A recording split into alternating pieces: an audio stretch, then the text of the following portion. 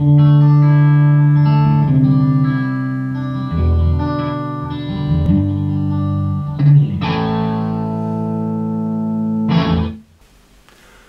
hello there, welcome to another edition of How to Bias an Amplifier.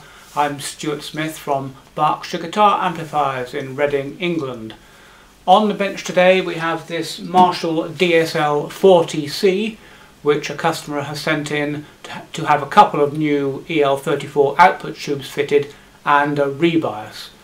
Now we're quite lucky this amp is quite simple to bias uh, but you may not have ever tried it I'm going to show you and walk you through step by step how to bias this amplifier and to make a start on that I'll take the chassis out and you can rejoin me when we've got the chassis out of the cabinet. I'll see you in a moment. So here we are top side of the amp. I've popped in a couple of brand new uh, JJ EL34s which the customer has requested and I've plugged in my two Eurotubes bias meters and um, we're now ready to bias. I'll flip the amp upside down and put it on my uh, my racks here, my holders, and uh, and then we can try to uh, bring these two tubes into a sensible bias current by adjusting the handy two trim pots which Marshall provide on this amp. So I'll see you when I've flipped the amp over onto its other side.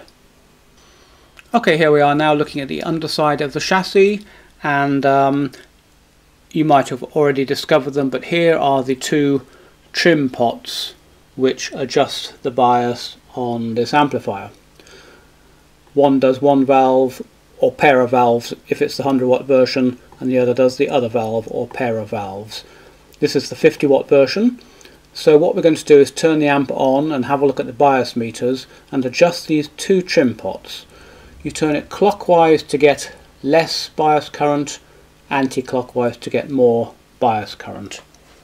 So we'll go ahead and turn on now and have a look and see what this amp is biased at at the moment before we start twiddling. So we'll turn on the standby switch and uh, we've got 490 volts plate voltage at the moment but it's not being loaded by anything so it will be um, it will be high until the tube starts to draw current. Now as you can see they're starting to draw current now. They look fairly evenly matched at present. So the left one's up to going over 40, 40 milliamps and the right one 37. Not too bad the bias on this.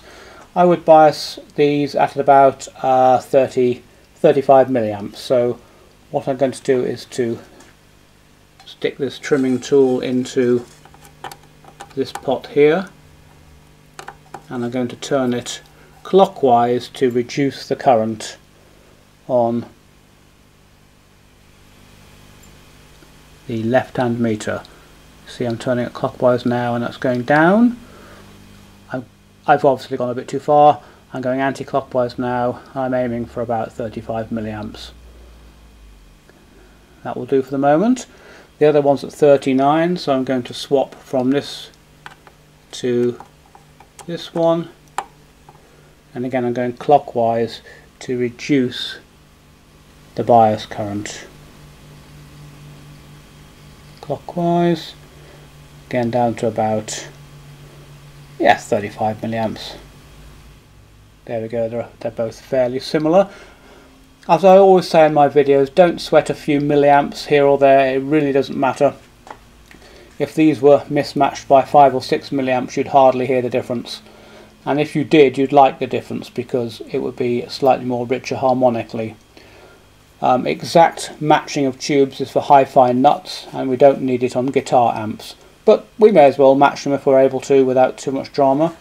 I see that right one's crept up a little bit. This does often happen as the amp heats up.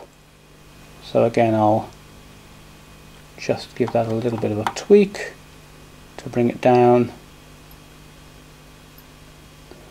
Maybe a bit higher. 35 and uh, there we go they're fairly well matched now and um, that's it, job done.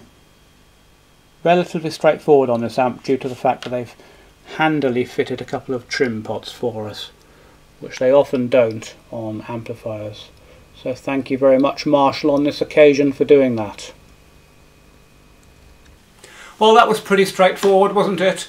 It didn't give us too much drama to whip the chassis out and uh, check the bias of the output tubes and make a couple of adjustments to, those handy trim pots which Marshall have fitted to this amp. I only wish more amplifiers had a handy trim pot that you could adjust and get to easily, wouldn't that be nice?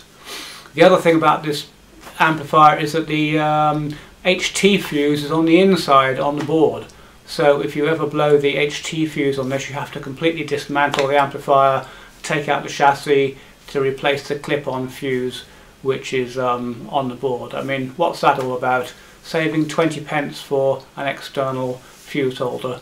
But there you go. So hope you enjoyed that in my how to bias series and I'll catch you on the next amplifier.